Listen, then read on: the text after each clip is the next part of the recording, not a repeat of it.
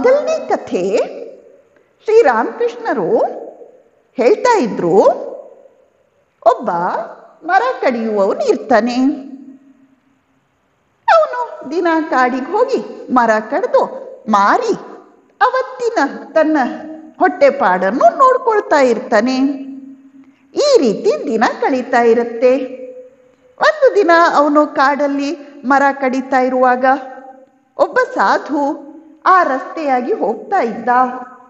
ಆ ಸಾಧುಗೆ ಇವನನ್ನು ನೋಡಿ ಏನು ಅನ್ನಿಸ್ತು ಆ ಸಾಧು, ಈ ಮರ ಕಡಿಯುವವನ ಹತ್ರ ಹೇಳಿದ, ಅಪ್ಪ, ಮುಂದೆ ಹೋಗು ಮುಂದೆ ಹೋಗು ಗೋ ಅಹೆಡ್ ಇವನು ಸಾಧುವಿನ ಮಾತಿಗೆ ಬೆಲೆ ಕೊಟ್ಟು ಅವತ್ತು ಕಾಡಲ್ಲಿ ಮುಂದೆ ಹೋಗ್ತಾನೆ. ಮುಂದೆ ಹೋಗಿ ನೋಡಿದ್ರೆ ಗಂಧದ ಮರಗಳು ಗಂಧದ ಮರಗಳನ್ನು ಮಾರಿ ಅವನ ಜೀವನ ಚೆನ್ನಾಗಾಯ್ತು ಶ್ರೀಮಂತ ಆದ ಅವನು ಕೆಲವು ತಿಂಗಳಾದ್ಮೇಲೆ ಅವನು ಯೋಚನೆ ಮಾಡ್ತಾನೆ, ಸಾಧು ನನಗೆ ಮುಂದೆ ಹೋಗು ಅಂತ ಹೇಳಿದ.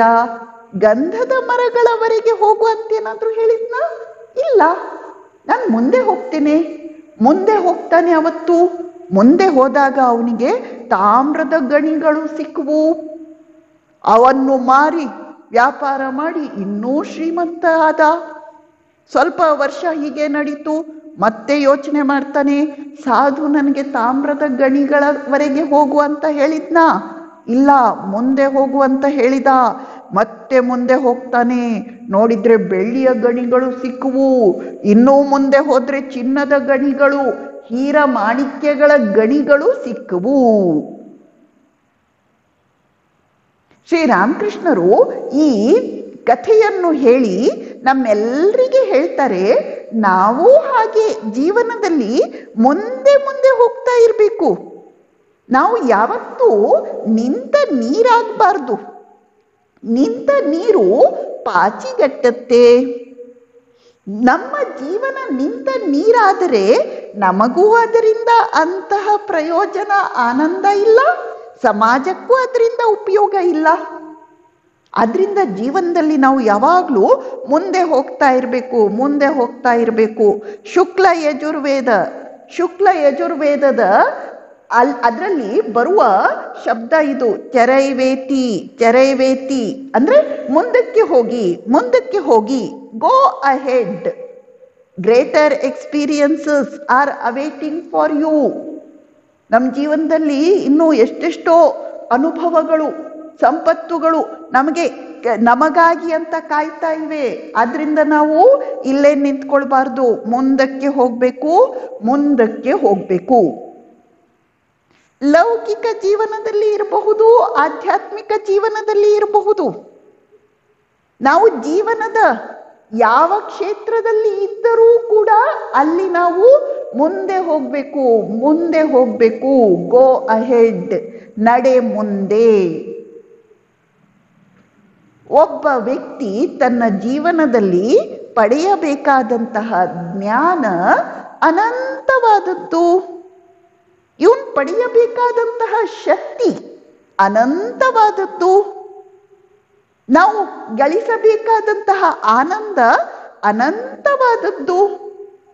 ಹೇಗೆ? ಹಕ್ಕಿ ಆಕಾಶದಲ್ಲಿ ಹಾರ್ತಾ ಇದ್ರೆ ಹಾರ್ತಾ ಇದ್ರೆ ಎಷ್ಟು ಎತ್ತರ ಹಾರಿದ್ರೂ ಇನ್ನೂ ಹಾರ್ಲಿಕ್ಕಿದೆ. ಹಾಗೆಯೇ ನಮ್ಮ ಜೀವನದಲ್ಲಿ. ಆದ್ದರಿಂದ ನಾವು ನಿಂತ ನೀರಾಗಬಾರದು. ಮುಂದೆ ಹೋಗ್ಬೇಕು ಮುಂದೆ ಹೋಗ್ಬೇಕು, ನಡೆ ಮುಂದೆ. ಈ ಕಥೆಯ ಮೂಲಕ ಶ್ರೀರಾಮಕೃಷ್ಣರು ಇದನ್ನು ತಿಳಿಯಪಡಿಸ್ತಾರೆ. ಇಲ್ಲಿ ಇನ್ನೊಂದು ದೃಷ್ಟಿಯನ್ನು ನಾವು ತೆಗೆದುಕೊಳ್ಬಹುದು. ನಡೆ ಮುಂದೆ ಅಂದ್ರೆ ಸಾಮಾನ್ಯ ಮನುಷ್ಯ ಸಾಮಾನ್ಯ ಮನುಷ್ಯ ತಾನು ಶರೀರ ಅಂತ ಭಾವಿಸಿ ಶರೀರದ ಆನಂದದಲ್ಲೇ ಸಂತೋಷ ಪಡ್ತಾನೆ. ಶರೀರದ ಆನಂದವೇ ಎಲ್ಲಕ್ಕಿಂತ ದೊಡ್ಡದು ಅಂತ ಭಾವಿಸ್ತಾನೆ.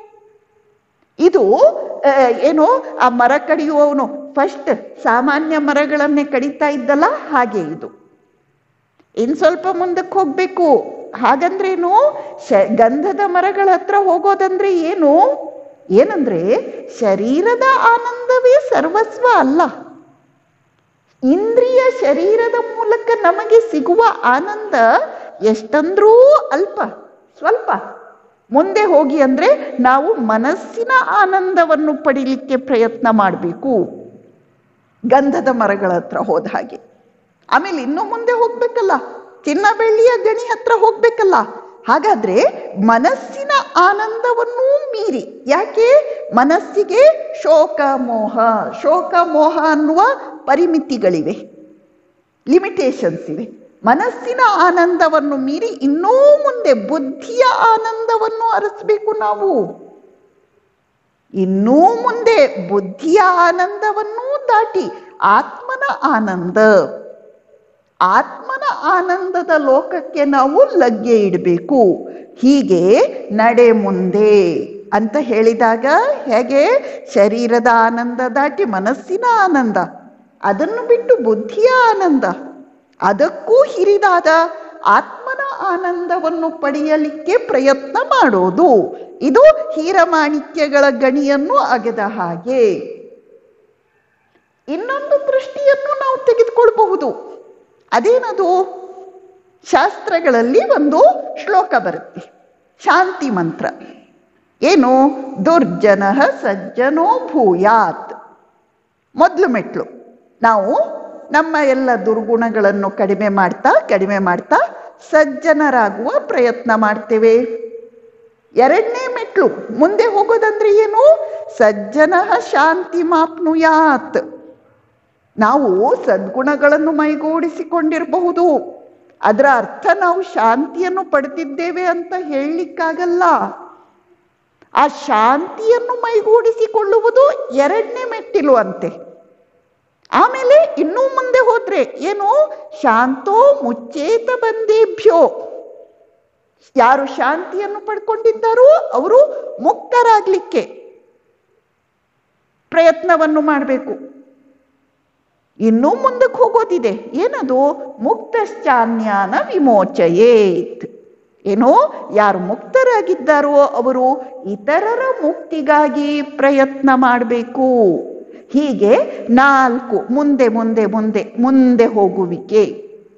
ಈ ರೀತಿ ನಾವು ಏನೋ ಆತ್ಮದ ರಾಜ್ಯದಲ್ಲಿ ಅಥವಾ ಆಧ್ಯಾತ್ಮಿಕ ಸಾಧನೆಯ ಮಾರ್ಗದಲ್ಲಿ ನಡೆ ಮುಂದೆ ಎಂಬ ಈ ಶ್ಲೋಗನನ್ನು, ಧ್ಯೇಯ ವಾಕ್ಯವನ್ನು ನಮ್ಮ ಜೀವನದಲ್ಲಿ ತೆಗೆದುಕೊಂಡು ನಾವು ಎಲ್ಲಿದ್ದೇವೋ ಅಲ್ಲಿಂದ ಮುಂದೆ ಮುಂದೆ ಹೋಗುವ ಪ್ರಯತ್ನವನ್ನು ಮಾಡಬೇಕು. ಶ್ರೀರಾಮಕೃಷ್ಣರ ದೃಷ್ಟಾಂತ ಕಥೆ, ಈ ಕಥೆ ನಮಗೆ ಈ ತತ್ವವನ್ನು ನೆನಪಿಸಿ ಕೊಡುತ್ತೆ.